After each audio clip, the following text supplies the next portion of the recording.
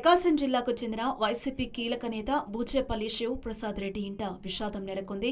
శివప్రసాద్ తండ్రి మాజీ ఎమ్మెల్యే బూచేపల్లి సుబ్బారెడ్డి అనారోగ్యంతో మృతి చెందారు. గత కొన్ని రోజులుగా అనారోగ్యంతో బాధపడుతున్న సుబ్బారెడ్డి హైదరాబాద్లోని ఓ ప్రముఖ ఆసుపత్రిలో చికిత్స పొందుతూ తుది శ్వాస విడిచారు.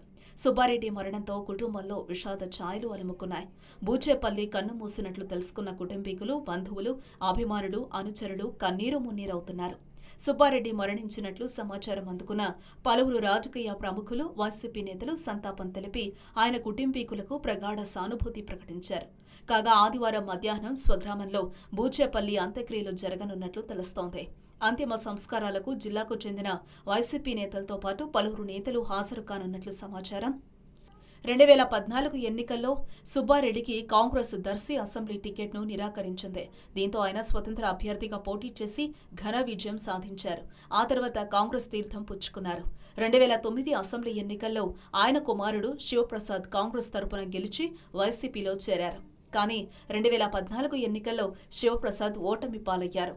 కాగా సుబ్బారెడ్డి మృతితో దర్శిలో విషాద ఛాయలు అలుముకున్నాయి.